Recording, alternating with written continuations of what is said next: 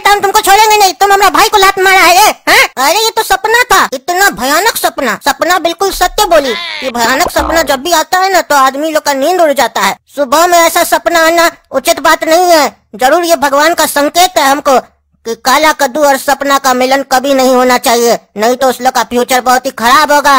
और खाली इतना ही नहीं, इससे तो दोनों परिवार का भविष्य खराब हो जाएगा और हमारा शादी भी नहीं हो पाएगा। हम इन लोग को मिलने नहीं दे सकते हैं। अब कुछ करना पड़ेगा। पहले ब्रश कर लेते हैं।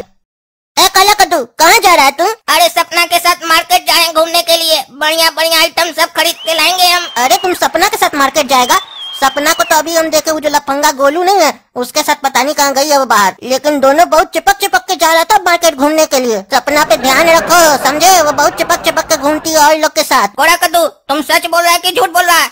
काहे की सपना हमरे सिवा किसी के साथ नहीं घूमती है, और वो भी चिपक के तो हो ही नहीं सकता। है हम जा रहे हैं उसके घर देखने के लिए कि है कि नहीं सपना? हाँ हाँ जाओ जाओ चेक कर लो खुद से।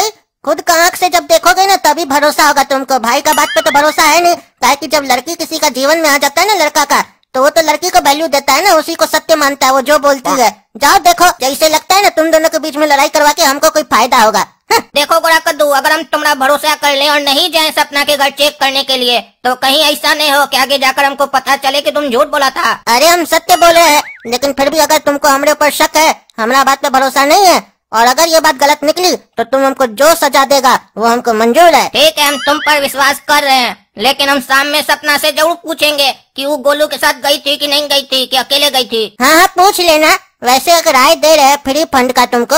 चोर से कभी पूछोगे चोर है तो वो कभी कहेगा कि वो चोर है। गोरा कद्दू आज सपना के बारे में ऐसे कहे बोल रहा है? आज से पहले तो कभी नहीं बोला है। कहीं ऐसा तो नहीं। वो चिपक चिपक के वो पगलेट गोलू के साथ गई है घूमने के लिए। हमको छोड़ के हमको पता करना होगा। लेकिन एक बात हमको ध्यान में रखना होगा कि हमको ज़रूरत से ज़्यादा शक नहीं करना होगा। काहे कि हम शक्की नहीं है और प्यार में शक की कोई जगह नहीं होती है। इसीलिए थोड़ा ध्यान से सपना से पूछना होगा, वरना वो बुरा मान सकती है। अच्छा तो गोरा कद्दू, एक बात बताओ। कि अगर हम सपना से पूछेंगे तो हो सकता है वो बुरा मान जाए। तो कोई तुम्हारे पास आइडिया है जिससे कि सपना से हम पूछें तो वो अपना सच उगल दे। हाँ आइडिया है ना हमारे पास। बताते हैं तुमको हम। कैसी हो सपना? बढ़िया हो ना? कहीं घूमने जा रही हो क्या? हाँ हाँ काला कद्दू के साथ शॉपिंग जाएँगे। क्या बोल रही हो सपना तुम? तुम काला कद्दू के साथ शॉपिंग पे जाने वाली हो? अरे ये तो गड़बड़ हो गया ना। काला कद्दू तो लफंगी मिठी नहीं है। उसके साथ चला गया सिनेमा देखने। काला कद्दू को ऐसा नहीं करना चाहिए था। जब तुमसे बात किया था कि तुमको शॉपिंग करने ले जाएगा तो फिर उसको मिट्टी के साथ जाने का क्या ज़रूरत था? सपना, हम तुमको एक फ्री फंड का एडवाइस देना चाहेंगे। भले काला कद्दू हमारा भाई है, लेकिन हम हमेशा सत्य का साथ देते हैं। इसीलिए हम तुमको बता रहे हैं, काला कद्दू मिट्टी के साथ ना चिपक चिपक के सिनेमा हॉल गया है। और जो सिनेमा का टिकट लिया है ना, वो भी कॉर्नर सीट वाला टिकट लिया है। थोड़ा ध्यान दो काला कद्दू पे। वरना लौंडा निकल जाएगा तुम्हारे हाथ से। क्या गुड़ा कद्दू तुम सच बोल रहे हो? काला कद्दू तो हमेशा बोलता है मिट्टी बहुत गंदी लड़की है तो वो उसके साथ फ़िल्म कैसे देखने जा सकता है? देखो सपना हमारा काम था तुमको बताना विश्वास तुमको हमारे ऊपर करना है नहीं करना वो तो तुम्हारे ऊपर है ना? तुम देख लो और एक बात बता देते हैं सपना तुमको अगर तुम काला कद्दू से ये बात पूछोगी तो वो भाव खाएगा और बात घुमा भी सकता है। तुम उससे इनडायरेक्ट में ये बात पूछना और देखना हमारा नाम नहीं है। और अगर तुमको उसके मुँह से सच निकलवाना है तो तुम आज काला कद्दू को बोलना कि तुम वो लफंगा गोलू नहीं है उसके साथ मार्केट घूमने गई थी। फिर वो देखना कैसे तोता के तरह बक बक करेगा अपना रुआब दिखाने के चक्कर में कि वो भी मीठी के साथ सिनेमा देखने गया था। हमको नहीं उम्मीद था काला कद्दू ऐसे करेगा। ठीक है गुड़ा कद्दू अब तुम जैसे बोल रहे हो हम वैसे ही करेंगे। कैसी हो सपना? बढ़िया हो ना? हाँ हाँ बढ़िया है। तुम बताओ मस्ती कर रहे हो ना? अरे अकेले अकेले कैसे मस्ती करेंगे? तुम होती तो तुम्हारे साथ मस्ती करते लेकिन पता चला तुम सुबह में गई थी कहीं घूमने के लिए किसी के साथ। तुम्हारा भाई था क्या? नहीं नहीं भाई तो नहीं था गोलू था। लेकिन हमको भी पता पड़ा है तुम भी कहीं गए थे। हाँ हाँ गए तो थे। तुम क्या सोचती हो? तुम अगर हमको कहीं नहीं लेके जाओगी तो हम नहीं जा सकते हैं। वादा हमसे की थी सुबह चलने के लिए शॉपिंग पर। तो गोलू के साथ काय गई? काय? गोलू तुमको ज़्यादा अच्छा लगने लगा है क्या आजकल? हाँ हाँ हम तो मार्केट ही गए थे लेकिन किसी के लिए पता पड़ा है कि कोई कॉर्नर वाली सीट पर किसी के साथ फ़िल्म देख के आया है। हाँ तो सीधे सीधे बोलो ना तुम हमारा बात कर रही हो? घुमा फिरा के क्या बात कर रही हो? गए थे हम फ़िल्म देखने तुम हमारा जासूसी करने लगी हो क्या आजकल? अच्छा मतलब वो इतनी मीठी है।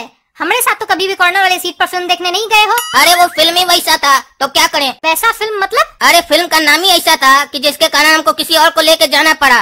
तुमको ले जाते तो वो फ़िल्म का नाम सूट नहीं करता समझी? फ़िल्म का नाम था गर्लफ्रेंड चेंज तो चेंज करना होगा ना गर्लफ्रेंड को फ़िल्म दिखाने के लिए। अच्छा मतलब गोड़ा कद्दू सही बोल रहा था। तुम मीठी के साथ कॉर्नर वाली सीट पर फ़िल्म देखने गए थे। तो अब उसी के साथ घूमना हमारे पास मत आना। हाँ हाँ तुम्हारे पास नहीं आएँगे अब मिठी के साथ ही हम घूमेंगे। काहे कि तुम्हारा इधर मन बहुत बढ़ गया है। घूम रही हो ना गोलू के साथ चिपक चिपक के सब पता चला हमको। हमको भी गोड़ा कद्दू बताया है। क्या बोले? मतलब तुमको भी हमारे बारे में गोड़ा कद्दू ही बताया है? हमको ज़रूर कुछ गड़बड़ लग रहा है दाल में कुछ काला है। गोड़ा कद्दू तुम्हारे बारे में हमको बताया और हमारे बारे में तुमको बताया जबकि हम तो कहीं गए ही नहीं थे। हम तो घर में तुम्हारा इंतज़ार कर रहे थे। तुम तो नहीं आए लेकिन हमारे पास गोड़ा कद्दू वो हमको ये सब बात बोला और बोला कि जब तुम हमसे पूछेगा तो ये सब कहानी बताना। तभी हम तुमको बोले कि हम गोलू के साथ मार्केट गए थे, लेकिन जबकि हम गए ही नहीं थे कहीं। क्या बोली सपना? तुम भी कहीं नहीं गई थी? गोरा कद्दू हमको तुम्हारे बारे में सारा चीज़ बताया। बोला, चिपक चिपक के गोलू के साथ गई है।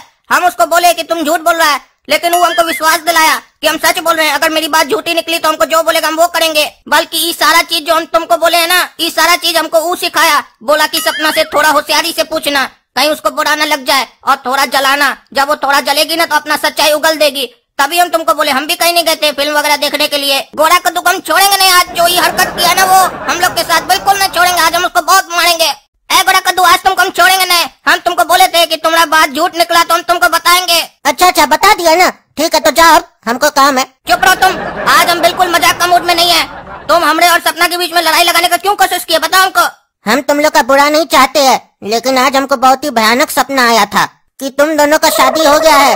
शादी होने के बाद हम लोग का घर में बहुत ही कलेश हुआ, माँ से झगड़ा हुआ सपना का। फिर बाप हम लोग का तुम दोनों को घर से बाहर निकाल दिया। फिर टकला ने तो तुम्हारा बहुत ही बेजती किया। फिर तुम्हारा और सपना का भी झगड़ा हो गया। फिर तुम सपना से तलाक ले लिए। फिर टकला ने तो तुमको एक लात मारा, तुम उड़ के गिर गए। और ये सब सीन पूरा न्यूज़ में कवर हो गया, दुनिया वाला लोग देख लिया। इसीलिए जब हमारा नींद खुला तो हम देखे ये सुबह का सपना है। हो सकता है भगवान का संकेत हो इसीलिए हम ये ठान लिए कि तुम दोनों को हम मिलने नहीं देंगे। ई पगला के चक्कर में आज हम दोनों लड़ाई करते करते बच गए। इसको तो सबक सिखाना होगा। अपना सरा हुआ सपना के चक्कर में हमको बहुत बकवास किया ई। आज इसको बताते हैं। अच्छा गोरा कद्दू एक बात बताओ। तुम जो सपना में देखे तो हम तो गिर गए थे रोड पर। तो हमारा पैंट में तो दाग लग गया होगा। एक बार देखो तो पीछे कहीं दाग तो नहीं लगा हुआ है पैंट में। अरे वो तो हम सपना में देखे थे ना।